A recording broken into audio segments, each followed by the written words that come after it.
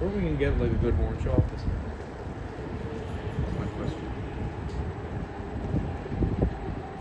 That's my question.